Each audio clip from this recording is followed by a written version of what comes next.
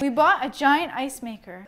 Whoa, whoa, whoa, whoa, whoa. How do we get it out without flipping it over? We cut it open. Yes! Smart, babe. Oh, oh my gosh, what did I do? How'd you set that on fire? I don't know. Why is it on fire? It's still on fire? It's not supposed to do that. Take that outside. Do not do that at home. We have the ice. What are we gonna do with it? We're gonna take ice baths. What? That's the only reason why we bought this?